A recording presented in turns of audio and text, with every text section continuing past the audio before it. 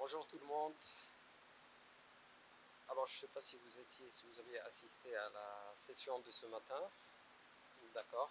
Donc, enchanté de vous, retrouver. Encore une fois, Mohamed Abdel je fais partie de Microfocus et je chapeaute l'activité Cyber Security au sein de Microfocus pour la région Afrique francophone. D'accord.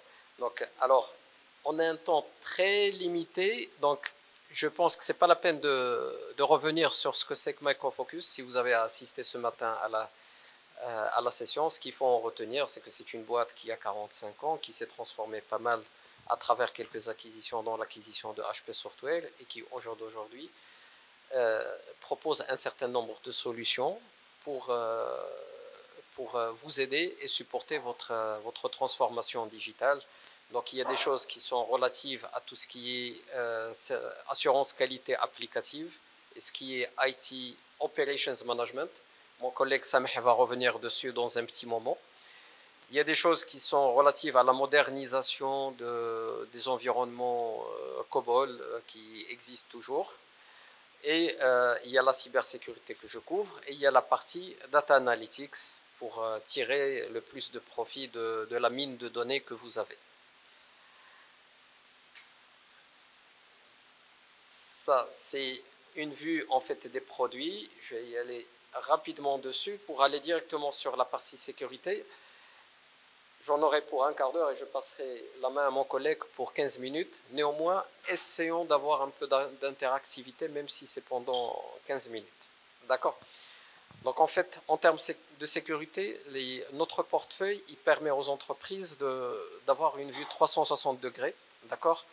Au niveau de, de leur SOC, et on fournit des solutions qui, qui lui permettent, de, qui permettent aux entreprises de renforcer leur cyber-résilience. On n'est pas dans la, sécurité infrastructure, on ne fait pas de firewall, mais on est plutôt dans d'autres briques qui complètent en fait la, la, vue et qui renforcent les capacités de votre SOC. D'accord? Je vais les parcourir une par une. On a quatre familles. Je vais aller un petit peu dans le détail et à la rigueur, on peut ensemble décider lesquels approfondir. Donc on a une solution qui adresse tout ce qui est Security Operations, d'accord qui Une sorte de SIEM mais qui fait plus qu'un SIEM et qui adresse l'équipe SOC évidemment. La solution s'appelle ArcSight. C'est l'une des solutions historiques de notre portfolio et c'est l'une des solutions les plus déployées dans notre région. L'autre solution, c'est Fortify. Là, on est dans la sécurité applicative. On n'est plus dans les opérations, on est dans la sécurité applicative. Et ça intéresse les organisations qui développent des, applications spécifiques euh, à elles, qui ne font pas qu'acheter des logiciels du marché. Qui dit développement dit euh, potentiellement des risques qui sont introduits du point de vue sécurité. Il y a le volet euh, qualité fonctionnelle, va traiter euh, mon collègue Sameh. La troisième famille, c'est on...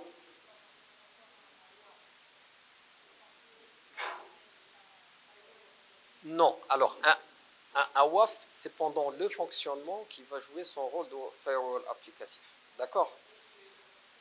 Ah, Alors, nous, j'ai passé du temps dessus, c'est on est là en amont, c'est pendant la phase de développement intégration avant de passer en prod, ça permet de s'assurer qu'on n'est pas en train de, de, rajouter des failles. D'accord?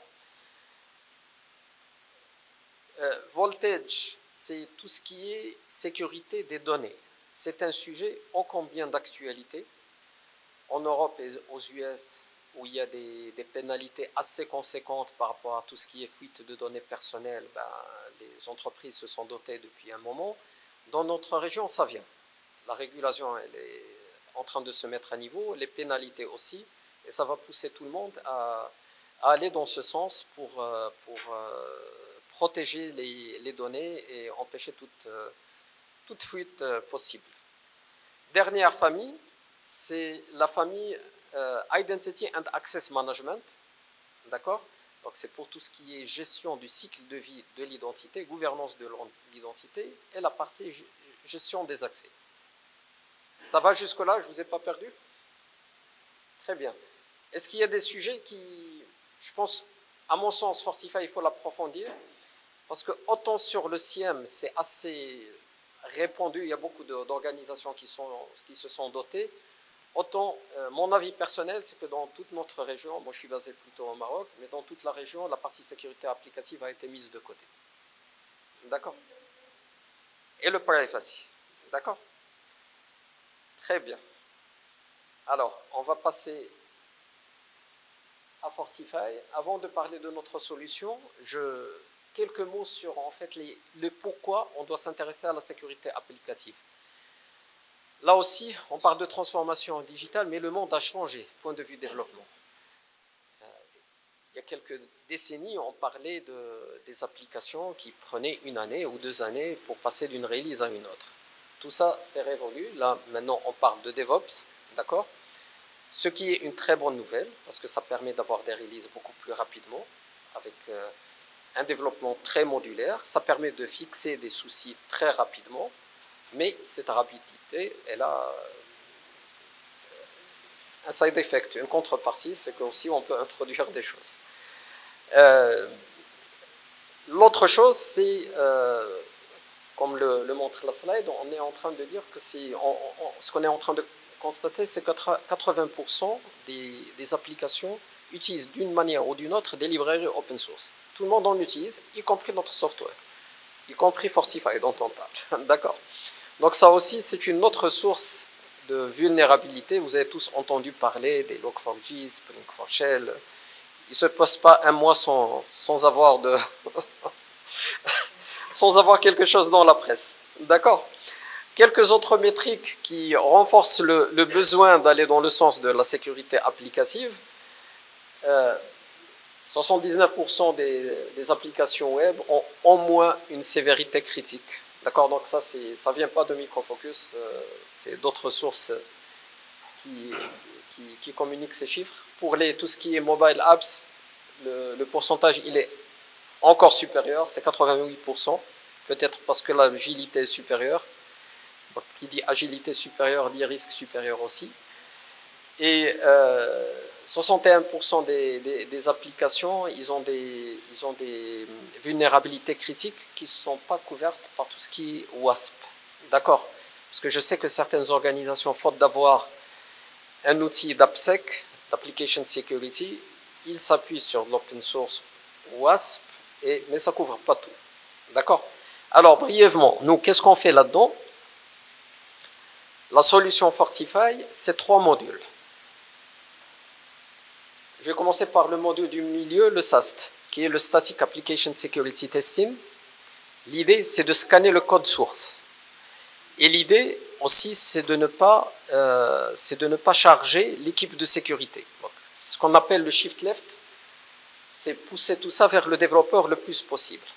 Néanmoins, les développeurs, la sécurité, c'est leur dernier souci. Donc il faut leur mâcher le travail. D'accord? Donc à travers une intégration que nous proposons entre Fortify et l'environnement de dev, les IDE, on supporte un certain nombre, ça permet en fait au développeur, depuis son environnement IDE, d'appuyer sur un bouton et de scanner son code source. L'autre volet, c'est le DAST, c'est le Dynamic Application Security Testing. Là, on ne va pas s'intéresser au code source. Une fois que le build est prêt, que le runtime est prêt, on va essayer de bombarder l'application web euh, en se comportant comme, comme un white hat, un hacker. D'accord? Euh, Les deux sont complémentaires. D'accord? Chacune des approches a ses, a ses avantages et complète l'autre. Et le dernier volet, c'est par rapport à un point que j'ai mentionné, c'est l'utilisation de l'open source. Donc là, on ne va pas s'intéresser à votre propre code source, mais aux librairies et aux routines open source que vous utilisez pour puiser dans une base de données de vulnérabilité et vous dire attention, telle librairie, telle routine présente telle vulnérabilité au niveau de telle version. Est-ce que c'est clair par rapport à Fortify? Malheureusement, j'essaie d'aller vite vu le, temps qui met à imparti, mais c'est un sujet qui est très intéressant. Je vous encourage, euh, on mettra nos, cartes de visite et on est à votre disposition pour euh, organiser des sessions en détail et, des démos pour. Euh, pour aller plus loin dans le, dans le concept et, et voir comment ça marche. D'accord? Donc ça c'est... Bon, je, sauterai pour pouvoir euh, passer aux autres solutions. L'autre, ArcSight, c'est le SIEM. Donc, je vais y aller vite parce que peut-être que c'est. Tout le monde s'est doté d'un SIEM. Néanmoins, je vous dis ce qu'on fait là-dedans. Nous, ce qu'on veut proposer, c'est ce qu'on appelle euh, un Next Generation SOC. D'accord? Le SIEM a évolué dans le temps. Ça a commencé par les fonctionnalités de collecte de logs et de corrélation d'événements. C'était ça le SIEM d'il y a quelques années. Néanmoins, les attaques ont évolué et les besoins ont évolué aussi. C'est greffé par-dessus une couche en fait de une couche d'automatisation, d'accord? C'est ce qu'on appelle le SWAR, ça c'est le terme de l'industrie, qui permet de passer de l'étape detect à l'étape respond, d'accord? En automatisant le plus possible ce qu'on peut automatiser à travers des playbooks qu'on propose. Et il y a autre chose qui s'est rajouté, c'est le machine learning qu'on retrouve un peu partout pour avoir du unsupervised learning et faire de l'analyse comportementale. L'idée, c'est que la corrélation vous permet de trouver des, menaces qui sont connues. Parce qu'à l'avance, il faut savoir quelle séquence vous êtes en train de chercher. L'analyse comportementale, non. elle, cible vos utilisateurs internes, elle va se mettre à l'écoute en fait ou enregistrer le comportement de chacun des utilisateurs au niveau de l'administration et détecter des déviations de cet usage pour euh, tirer la sonnette d'alarme. Quelqu'un qui, qui, envoie 1 méga par jour et qui se met à envoyer 5 gigas, c'est qu'il est en train sans doute d'exfiltrer des données. D'accord? Alors, il y, a, y, a, les trois couches. C'est ce qu'on appelle en fait le, le layer analytics. Donc, on a la, la couche collection d'événements et de logs, d'accord? Avec du, du filtrage, de, l'agrégation, tout ce qui va avec.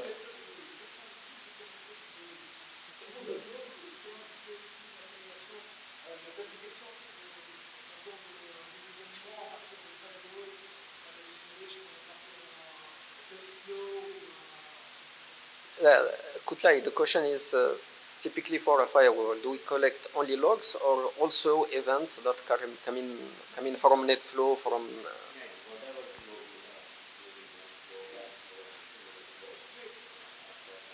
Uh, hmm. C'est une solution très solide, assez répandue au niveau, de, au niveau du marché, auprès d'organisations critiques telles que des banques, telles que des... Exact.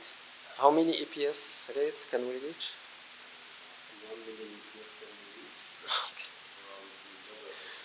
Je pense que si on prend le Maghreb, euh, on arrivera.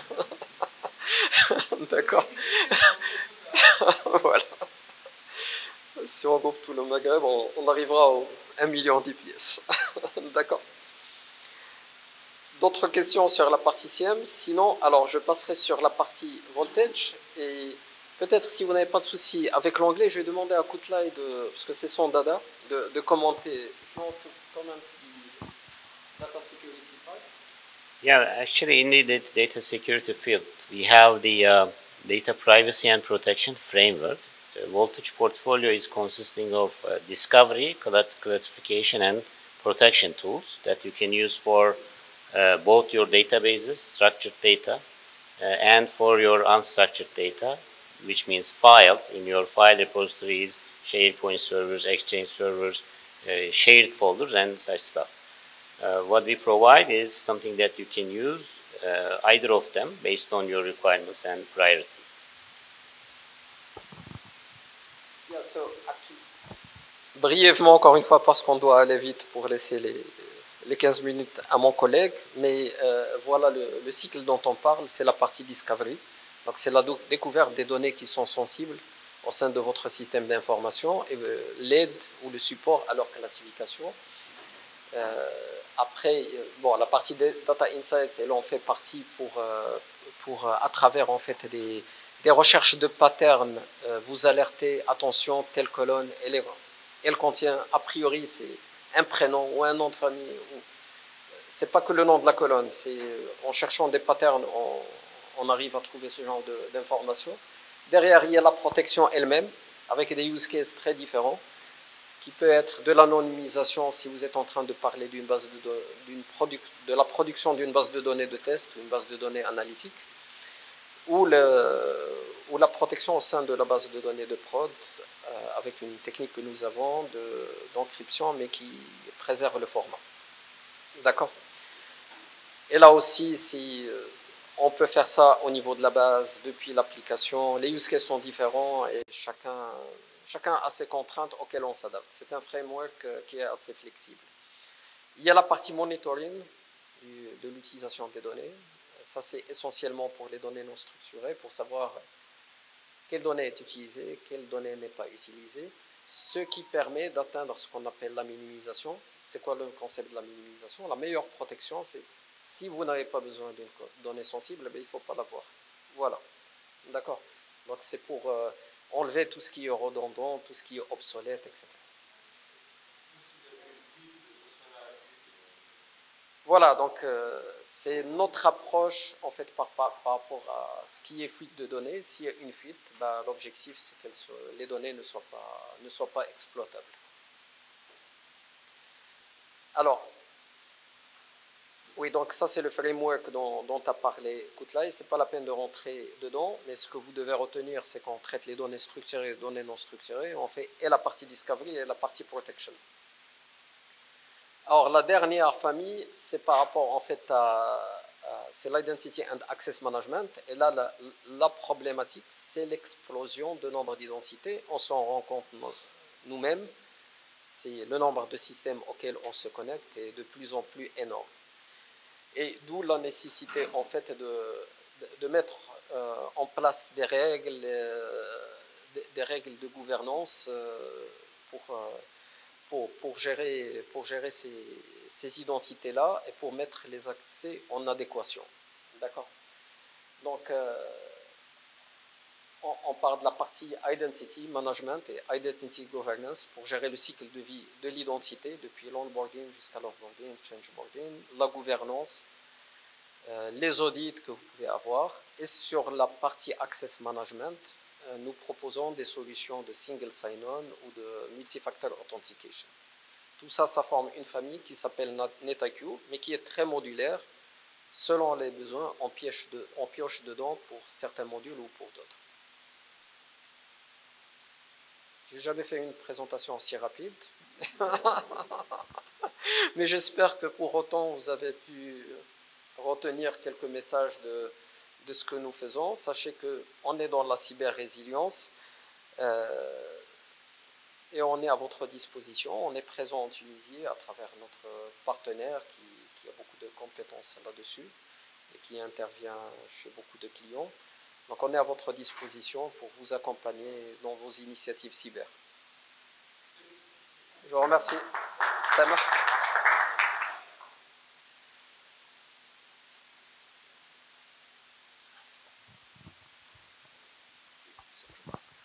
Hello everybody, how are you?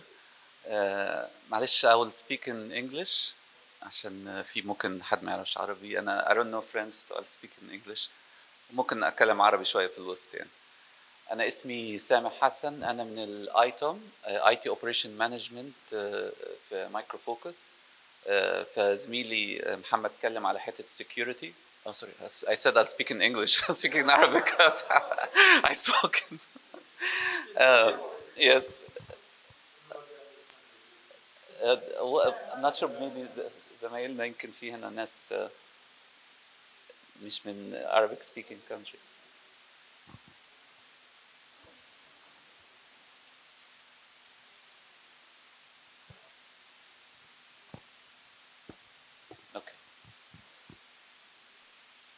إحنا اتكلمنا اوريدي على تعريف الشركة أوكي uh,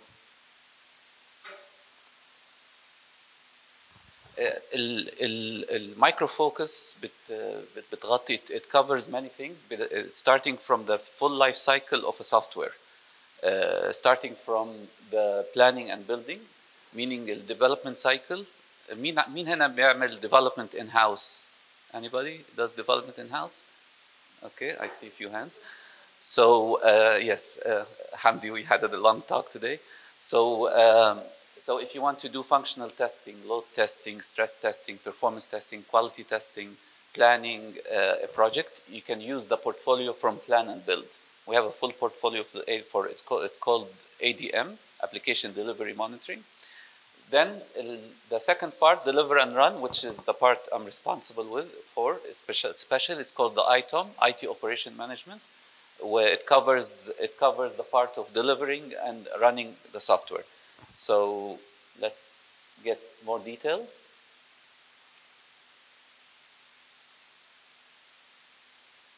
Okay. Uh, we're gonna we're gonna talk mainly about uh, about few aspects. First of all, uh, when you have eventually everybody wants to give a service, right? So we cover the service management, which is basically ticketing, ticketing. Um, uh, I, always like to do some raise hand. Who who uses open source here for ticketing? One, and the rest using uh, vendor vendor base, or you doing in-house in-house uh, development for ticketing? Vendor? Vendor, okay. So, uh, so we have, of course, our own solution uh, for service management. It covers all the ITIL 4 processes, the main processes, verified certification for the main processes for ITIL 4, including change management, problem management, uh, knowledge management, request management, even, even the asset management part, and also the software asset management part. Uh, also vendor management, uh, contract management, all this, it's, it's in within uh, our service management solution. Of course, service management also includes service fulfillment because when you, when you manage the service, you fulfill it as well. So in parts of uh, management to fulfill a service, you can use remediation or automation. So we use the automation all over our portfolio. We have a very strong automation layer uh, part of it is uh, uh, runbooks and RPA, robotic process automation. Then we have the service assurance. Service assurance basically it's, it's the NOC operations, monitoring, continuous monitoring your infrastructure, your uh, network, your infrastructure, your end user experience. Uh, and you have a full manager, manager of manager solution. you can think about it as a NOC operation. Uh, so you have a big screen where you see all the all the actions going on. You're monitoring services, you're monitoring infrastructure. Then you respond right away. If you if somebody has questions, just uh, interrupt me anytime. Okay. Oh, my shadow. Yeah. yes. Yes. Okay. All right. Um, uh, we don't have time to get into all the details. But I wanna I wanna say that we have in the middle in the heart of it we have something called the data lake, optic data lake. It's a data lake where all the information that you gather from monitoring it goes into a big data lake. Basically, it's it's a database. It's called Vertica database. We own Vertica database. Uh, I just want to say something that one of the good things about our solution that we own everything end to end. So it's a full, it's a one vendor solution and at the same time we integrate with any other solution. So let's say we are monitoring our solution using our tools and you have SCOM, for example, you can integrate the SCOM events into our events and we have a full uh, unified solution, okay? So anybody, you, anybody right now have a unified uh, monitoring uh, solution or, or you have element solution or, or for example, you're just monitoring Oracle, you're just monitoring uh, Cisco, Huawei. Is that what you do now, or you have a unified thing that sees everything? Element. Okay, uh, so you have a unified. What you're using for a unified solution? Okay, okay.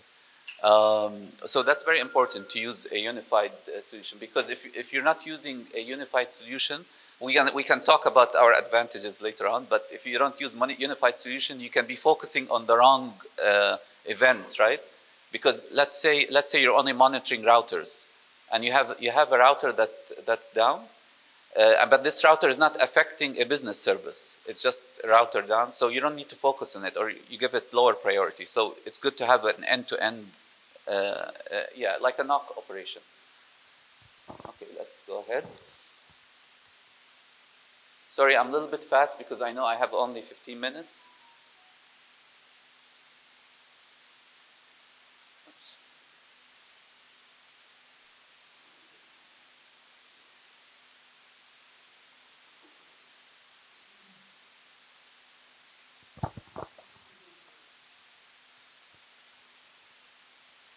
Okay.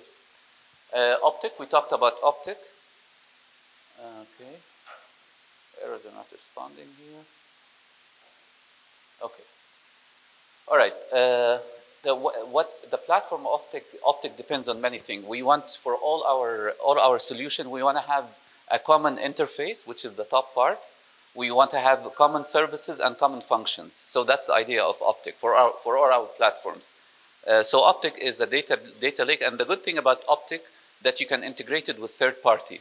So if you have if you have like Power BI and business intelligence tool, you can use the optic data to to view this data. So let's go ahead. Okay, let's get, talk about uh, right. service management. Service management, which includes service management and service fulfillment. The product that we have called SMAX, Service Management Automation X. And as I mentioned, SMAX covers, uh, covers all the ITIL 4 processes, including, as I mentioned, including asset management, support request, change management, etc. Um, and this is just a quick, uh, a quick uh, screenshot of uh, SMAX, our solution. And as you see, it's very friendly to use. It uses, it uses basically uh, natural language processing to do search. It depends a lot on the self-service. So, uh, so you can actually fix your, your issues. For example, if you have an issue with your email, you just write email mobile. Immediately things comes up, the knowledge management, the knowledge article, uh, some older tickets, questions and answers. So you can fix your, your, your issue yourself or you can raise a ticket and the agents will fix it. And we have lots of things like virtual agent and a mobile application. Anybody is interested in anything, we can you know, sync with our partner, uh, of course, SMS, Ahmed, and we can have a specialized uh, in-depth uh, uh, demo, okay? Because only we only have 15 minutes, so we cannot go in too much details. But all, I want to stress that it has it has uh, full ticketing, full ITIL four, four uh, ITIL four processes, plus uh, asset management as well. Okay, so you can have a full asset management, tracking of an asset, a full life cycle of an asset, from from purchasing all the way to depreciation, or going into the shelf. So you can full the full uh, life cycle of an asset. And if you're interested only in asset management, let's say you're interested only in asset management, you're not interested in ticketing. You can, we, have, we have the same solution, we can give you the capabilities only of asset management. It's just, it's just different license. But it's the same interface, same everything, just different. Uh, of course, you can have everything under one uh, interface as well. Because in ITIL 4, it's one functionality, it's part of the service. So that's why we put it in one solution. Okay, this is just more screenshots. Uh, talks about the challenges.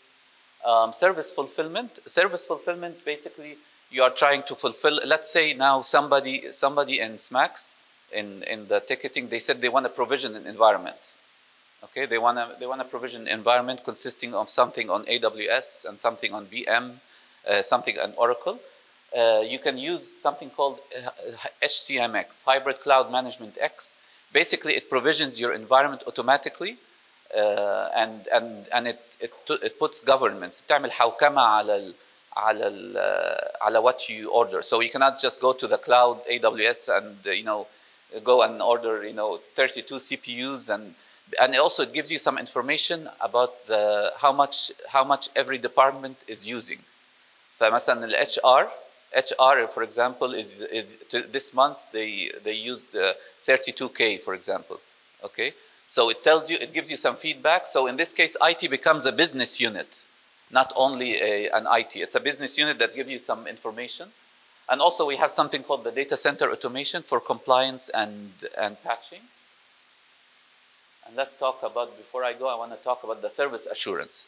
So now we, we, we manage the service, we, we fulfilled it, something called service assurance. You want to make sure the service is running correctly. So that's the service assurance. Basically, it's monitoring. It's just service assurance is monitoring. You're making sure, sure the service is always up and running. So you get, you get, you get the event when something ha happens.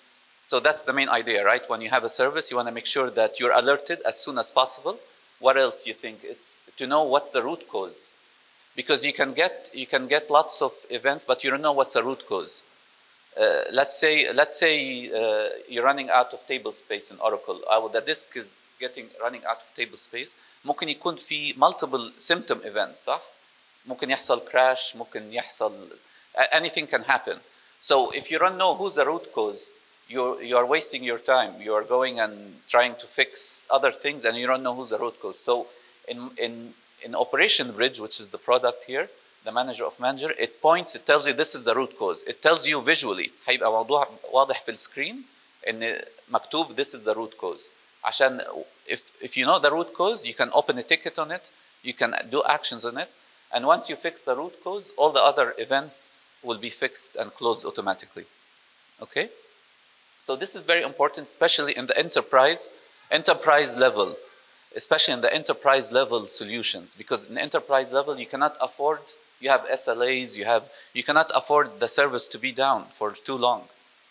And you cannot go and chase, you know, as you said, uh, Madame, that uh, uh, uh, different different silos, people work, كل واحد شغال لوحدي. ف you start pointing fingers مين الغلطان وهتاخد وقت كتير قوي. If you have if you have a solution like this, immediately you will know what's the problem and you immediately can fix it. And we have an automation layer which actually can do automatic remediation. You can fix it right away. تمام؟ أي أسئلة لحد دلوقتي؟ في في أسئلة؟ Any questions? I think how much time we have? We have a few minutes more. اه نتكلم لحد ما لحد ما يمشونا خلينا بالظبط ايوه بالظبط. Operation Bridge. So, uh, so it's clear. It's clear what's Operation Bridge. The manager of manager, the monitoring. Um, because we are not competing. We're not competing here with the with the data managers or the management of each solution. Element managers. We're not competing with them. Element manager اللي هو مثلا Cisco, uh, Prime, uh, Oracle management system. We're not competing with these. We're, we are end-to-end solution for everything. It doesn't matter who's the vendor. وحاجة تانية بنعملها it's we can draw the, the service map. Okay? So you can, uh, we talked over this. We can draw the service map. We can tell you, for example, core banking. Uh, what's, what's the infrastructure related to this core banking? حتى يكون مثلا load balancers, servers, infrastructure, network devices. عشان لما once once a problem happens, you know that this problem how it's impacting the core banking. Because if you don't know this information, you'll be fixing things not important. Maybe لأن ساعات مثلا أنا شفتها بنفسي إن إن ساعات بيبقى في event even though the, it's part of it's part of the service map but it's not affect, affecting the core banking لأن في load balancer فبيرمي على حتة تانية بيرمي على اللود balancer فاit's not affecting the full solution. So you don't have to panic. You don't have to make it uh, like an emergency because it's working. So you can give it lower priority. So it's very important to do this. Yes. Sorry? البزنس ترافيك الترانزاكشن نفسها قصدك يعني مثلا الاكونت نمبر in some levels you can in some in some levels we, we can we used to have a a, a tool that actually goes into the, the details of account number, etc. Right now, this one is not with us. This, this tool is not being developed anymore. Uh, but not, not to the level of, we can retrieve it, for example, in the databases. We have tools to retrieve it. If it's stored in a database, we can have a job to retrieve it.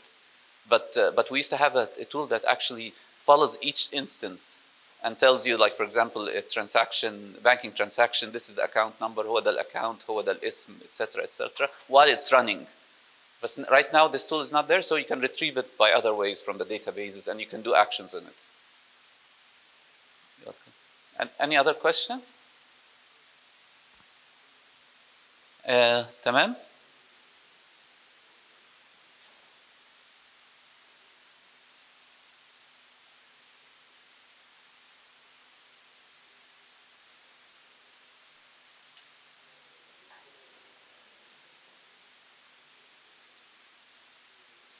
Yes, service governance. We have a solution called the Data Center Automation, which does compliance and uh, patching for the servers.